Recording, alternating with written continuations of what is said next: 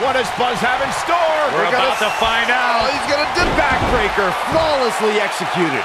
This is his opportunity to win this thing. Moves like that will make you question why